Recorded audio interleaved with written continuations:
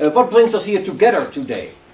Well, I would suggest to you what brings us together here today is the doctrine of the Trinity.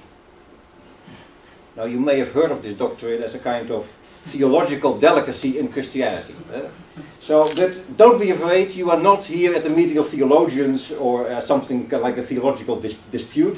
What I want to introduce to you or suggest to you is the economic trinity.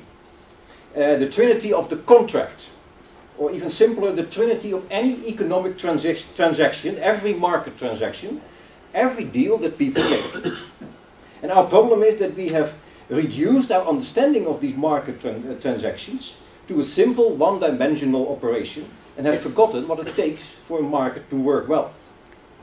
Um, I speak in riddles, so I, let, my, let me clarify myself. Every market transaction, and hence every written or unwritten contract, every deal, presupposes in fact three contracts that are entered into simultaneously. The first contract is the most visible and is uh, most of, uh, often committed to paper. If only a receipt in the supermarket, yeah, uh, you get a receipt tit for tat, uh, a bar of uh, peanut butter, one uh, euro fifty, or it may be a credit default swap. Uh, uh, in practice, a huge pack of paper or a huge digital data file. Um, listing the underlying assets for such and such a price, tit for tat, and you can put it on paper.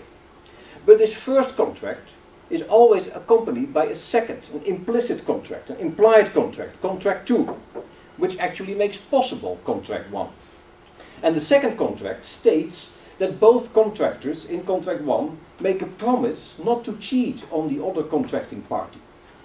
You say, well, will, does this contract exist? Well, it can easily be demonstrated ex negativo, I would say, because if the other partner uh, one of the partners would actually know at the time of con uh, concluding the first contract that the other is cheating uh, or is, intention, is intending to cheat, then the transaction, of course, will not proceed, but will be cancelled. So contract 2 is implicitly presupposed in contract 1. There is indeed, we trust, peanut butter in the pot and not another brown substance. So the first we can call the formal legal contract, the second is the trust contract. But there even is a third contract. At the very moment when the two contractors conduct their transaction, they as well enter into a contract with the surrounding society. Any agreement, either on paper or just verbal, implicitly refers to a society in which there is a rule of law, which serves as both the background and the foundation for people to make deals, to deal and wheel because they know there is a society that can back up. And this also means that both parties implicitly connect themselves to the community and commit themselves to the well-being of that larger society as well. So the third contract we can call the social or the civil contract. These three contracts together are three and at the same time one. There we have the mystery of the Trinity.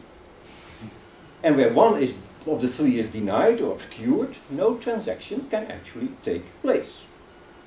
Of course, it is possible to a certain degree to shift the relative weight between the three contracts.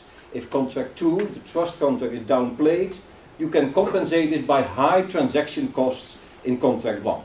And the first contract becomes a huge pack of paper and totally becomes a matter of legal persons, lawyers, solicitors to deal with, and bet you know they know how to charge. If one minimizes the social contract, society cannot but respond with ever increasing regulations upon regulations that eventually may undermine the creative freedom that is necessary on the market from an economic perspective. But even in all these cases, the Trinity can never be fully denied or ignored completely.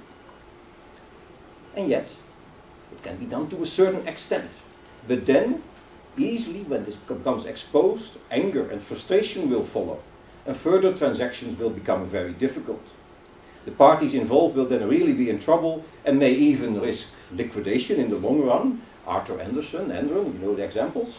And the banking sector, of course, financial sector are the recent examples, which creates anger, frustration, because they have kind of played down the, the, the significance of contract 2 and contract 3. So we have ended now up in a situation that can be described as culturally, social, psychologically, and politically very hectic times. Many citizens feel hardly any security. In the Netherlands, one of our most influential social science uh, uh, advisors, advisors, of the government, Paul Schnabel, has expressed this in the famous one-liner, uh, with me things are all right, uh, but with us it is going badly. And at first this feeling was a bit too idealistically and romantically reflected in the Occupy movement, but it cracks now into the open with much greater force in the populist movements worldwide. And they are closely connected. The closely connection between this, the left Occupy movement and the right-wing populism was underlined last week by one of the CNN commentators uh, when he noted that Donald Trump's inauguration speech could have been given almost identically by Bernie Sanders. He would have probably thrown in a couple of more times Wall Street, where Trump said Washington. But basically, the same speech could have been given. Uh, and we now live in an age of deep felt distrust in institutions. And uh, mm-hmm. last week, the, the Edelman bar Trust Barometer was uh, released for 2017 and reporting a huge further decrease in trust globally in institutions. The Dutch and German word for citizenship, burgerschap, is derived from burgt, shelter. Institutions give shelter to people. And in this basic role, many institutions have failed today. So here we arrive at the situation in which we are now, and I believe that in this brief analysis already some contours become visible of a restoration and innovation agenda that we as representatives, let me talk inclusively here of financial institutions and of society, have to explore. I will briefly give six points of that. First point is acknowledging that indeed the financial sector has played a key role in this growing distrust and hence have to play a key role in restoring trust. Um, the immense, the immense uh, increased role of the financial sector as we experience every day in universities, healthcare institutions, in politics, it seems that the only debates still are going on about now about money. So uh, as a society, we have to curb our dependence and even our addiction to debt, and the financial sector has to help us actually in becoming free of itself. The second point, new attention for the forgotten second contract and the third contract. The three contract, the, the trust contract and the civil contract. Um, and I think that, that will be very much on the on the on the, on the agenda uh, to, uh, today. I could say much more about it. I will not do that for sake of time. The third point is in new ethics, and a, a lot of steps have been taken toward this already.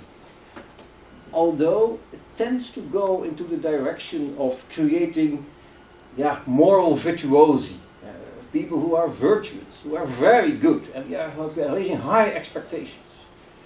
I think it is good to, to acknowledge that people are weak, and that we have, that is much more important, and I was glad that uh, Mr. Villa spoke already about this, that we are doing this, uh, to have moral dialogue and to have in that to have the dilemmas on the table more than say well here here is the moral high ground this is what you should do so moral weakness, moral transgression, forgiveness, these kind of elements should be part as well of our new ethics.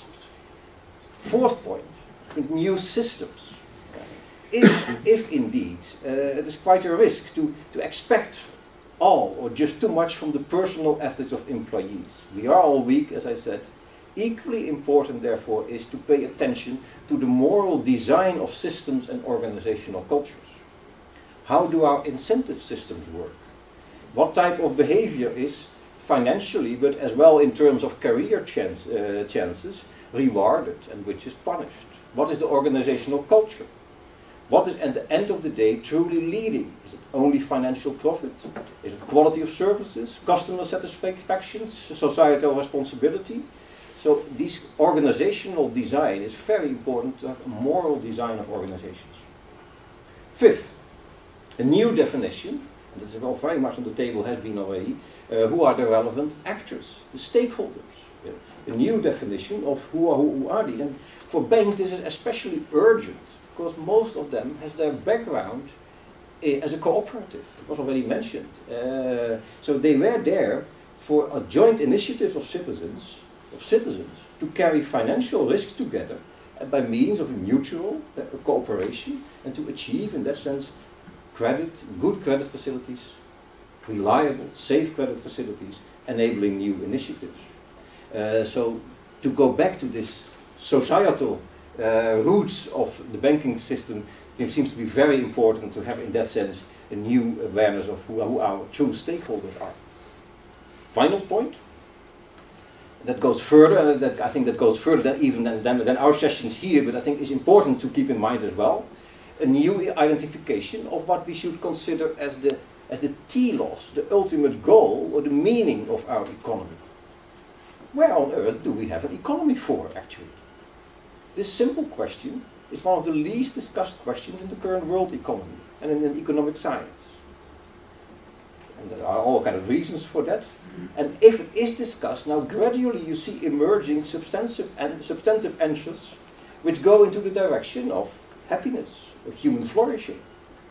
And this then implies that the key question we have to ask ourselves as financial institutions is do we, and does the financialization that we have promoted, actually contribute to human happiness and human flourishing?